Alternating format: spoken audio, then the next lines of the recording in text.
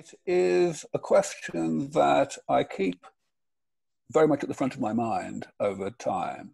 The reason I do so, of course, is because as Chief Science Officer of the Foundation, I'm, oh, I have overall responsibility for identifying our priorities in the Foundation.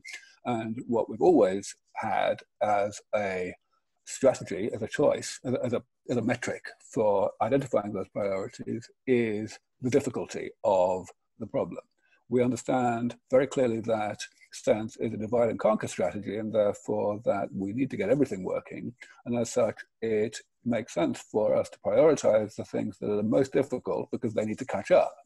This is, of course, even more the case when we take into account the fact that other researchers who are constrained by peer review and such like tend to be biased in favor of working on the low hanging fruit.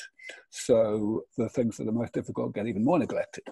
All right, so then uh, coming to the question, well, historically, what I have said is that actually OncoSENS is the hardest. That cancer is the most difficult part of aging to fix. I even said this back in the very first SENS paper back in 2002.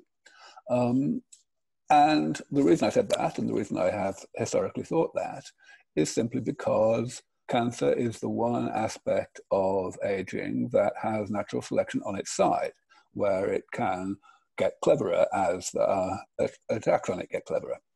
And that has been my view until quite recently, but now I'm a little less sure because of largely because of the breakthroughs that have occurred in cancer immunotherapy over the past five or six years. Um, and I'm not just talking about the breakthroughs that everyone knows about, like CAR T and um, checkpoint inhibitors.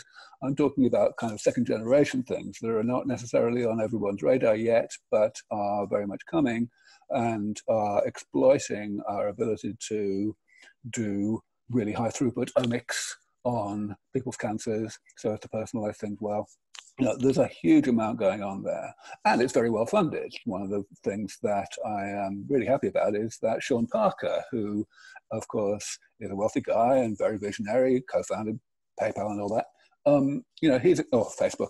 He's a guy that um, I met a long time ago and tried unsuccessfully to recruit as a major financial supporter. But now he is putting very large amounts of money into cancer immunotherapy, and I'm really delighted about that. So, you know, as far as I'm concerned, he's doing my job. Um, but why I mention all this is that it means that we may not need in the future to, to, to view cancer as the number one problem. Many of you will know that the SENS approach to cancer, namely WILT, is really ambitious. I mean, really, really, really difficult. And in fact, there are plenty of biologists out there who think that the rest of SENS is quite reasonable, but that wilt is just completely infeasible. So, you know, it's worth mentioning that um, wilt may not be necessary. And I, I, no one would be happier than myself if that turned out to be true. So what this where this leaves us, coming back to the original question, is, of course, you know, what else is really hard? And I would certainly say that MitoSENS is, at this point, definitely the one that competes with cancer, with OncoSENS, as the most difficult. All of the other areas of SENS at this point have moved forward, at least in regard to certain examples, into uh, startups and in most cases into clinical trials. So we're looking now at a situation where really OncoSENS and MitoSENS are the two things that need the most work. Even GlycoSENS, the, the, the, the elimination of crosslinks, is now being pursued with a company that has been spun out from our group that, um, uh, that we funded for several years at Yale. So yeah, I would say MitoSENS is really up there as the thing we should be focusing on.